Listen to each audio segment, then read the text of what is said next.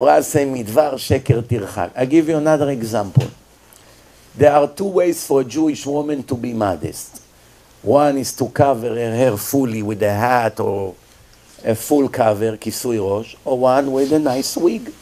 Which one of the two is better? Every normal person, every honest person know kisui rosh is much, much better than a wig. Now, I don't say, I'm not going into the fact if wig is even allowed or not. I'm saying, assuming is allowed based on some rabbis, everybody understand, even those who wear wigs, if they are honest, that covering the hair fully, that nobody see a hair from your head as a married woman, it's higher level than to go with a nice fancy wig. But most of the women are liars and fakers. They will swear on their children life that wig is more modest than covering the head. And they're gonna use all kinds of names like the Lubavitcher Rebbe, which is a lie. He never allowed wigs. It's also a lie of the Chabadnikim. They said the Rebbe say only wig. Lies. I can show you a video from the Rebbe and a letter that he answered to someone that it's not good to put peanochrit. Clearly. I believed them for years. I even say in some of my lecture, if you want to count in the Lubavitcher Rebbe and Rav Moshe Feinstein, I gave a list of some big rabbis who allowed wigs. You have who to count on until someone sent me a proof that the Lubavitcher Rebbe was very much against wigs. He didn't want it. But regardless, there are still some big rabbis who allowed it. But now we have a new problem. They just started to prove in the last year or two, actually more than two years, that almost all the hair of the wigs come from idol worshipping of Indian people in India. The Indian women are very poor. In India, many people live on a sidewalk. They don't even have a place to live. So many people, they want to sacrifice something to the God. Reason number one, they're afraid that the God will punish them, so they have to bring him a gift. But they don't have anything to give, so they shave their head, they bring the hair and give it to the God. Reason number two, they believe that their God, this one specific God in the temples of India, that they believe in, that he loves hair. I know how stupid it sounds, but that's what the Indians believe. So on purpose, they give him hair. Third reason is that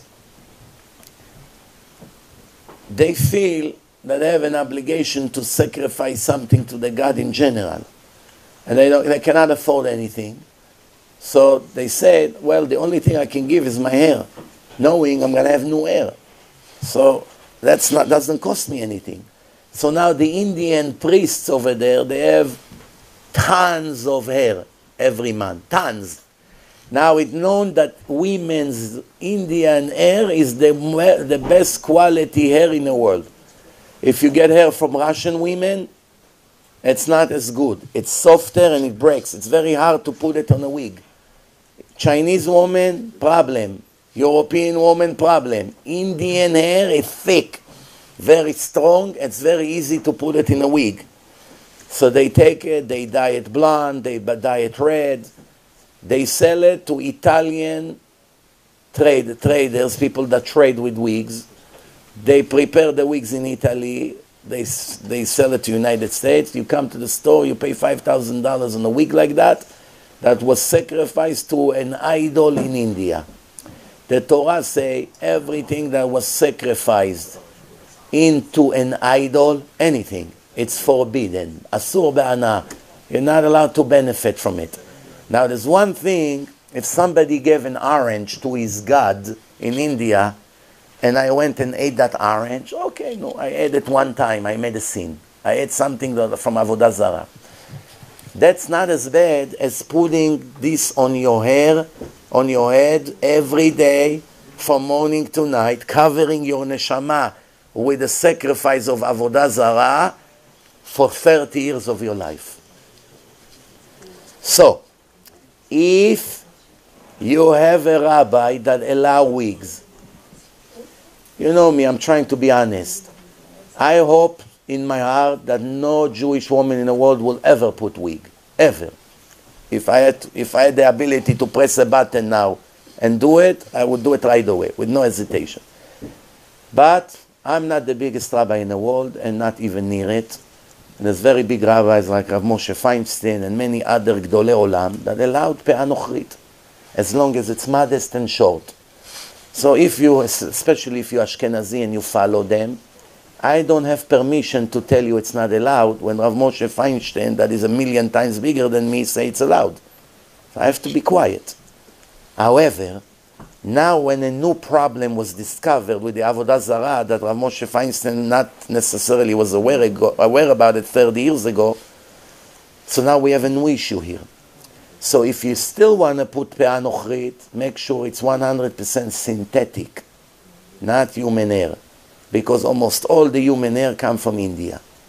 So at least you don't put avodah zara in your head. Again, you want to ask what's the best? Cover fully. That's the highest level. If you're weak, if your husband doesn't let, if you war we go in and you feel you lose your confidence, I understand. There's reasons why women wants to put hair. It's not necessarily because they want to be pretty on the streets for the goyim. Some religious women, they're very modest in their nature. They're not prostitute, that they want to be models on the street in front of Ahmed and Chris. It's not the reason they put wig. They just embarrass. One religious woman told me, I want to give you an example. I went to do a car inspection somewhere with my wig. So they didn't know I'm Jewish. They treated me like a queen. You had to see. Two days later, I took the other car for the inspection for the insurance company, but this time I came with my hair covered. They treated me like garbage. They made me fill up all the paper. What do I know about these questions about the car? I don't, I don't understand a word. And in the end, on purpose, they messed up the inspection. She has to go again. That's reality. You come to the Goim and you and they think you're one of them because you have a week. They don't know you're Jewish. They treat you normal. You come as a religious Jewish woman, half of them are anti-Semite. They want to kill you, so they will definitely give you hard time. Some women cannot handle it, so the pressure make them put wig. Okay, but don't put human hair. Put synthetic. And again, we'll conclude if a woman say wig is more modest than a hat or anything like that, she's a 100% a liar and a faker. It's not more modest.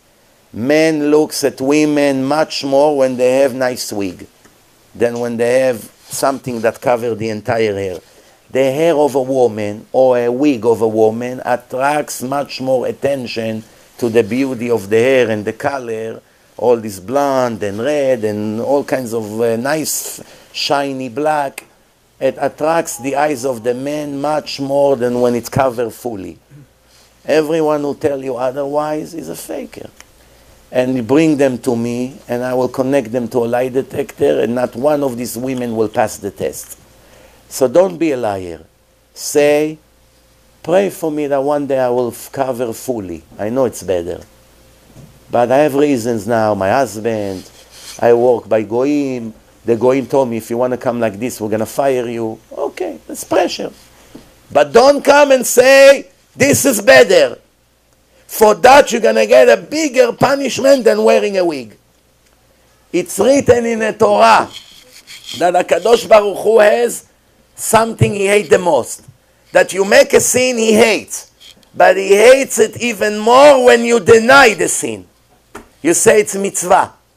For that he will never forgive you. Listen, I'm going to tell you the source. Hineni nishpat otach Al omrech lo chatati. The main judgment will be for your nerve to say, I did not commit a sin. This what I did is mitzvah. For that, I will not be easy to forgive you. You made sins, I understand, you have weaknesses. People are weak. They make sins. We have desires. I, I spoke about it before. But to come and say that what you just did now, it's mitzvah, it's allowed, for that I will not forgive you. Say, right, right, Rabbi. Chatati, aviti, pashati, I'm so sorry. The next week he does it again. Hey, we just spoke about it a week ago. You're right, Rabbi. I fell again. Chatati aviti pashati. 50 times. Better than to come and say, Rabbi, it's not a sin. Don't be fanatic. You understand?